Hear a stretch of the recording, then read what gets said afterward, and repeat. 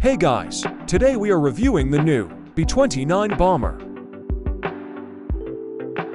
So the first thing is, it's huge.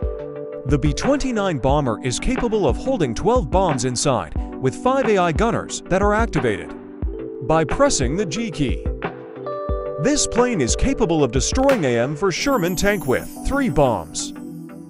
This air dominance fighter spawns in a gunship-like state, but the pilot is able to fly around unlike the gunship. Here are the locations of the gunners. 1. Above the cockpit. 2. Under the cockpit. 3. Behind the tail. 4. Under the tail. This Superfortress also has a seat for controlling the gunner. The gunner sits inside the cockpit next to the pilot and can fire out all the guns. Like the Fairmile ship. I'm hoping for some foreseeable updates about this in the future.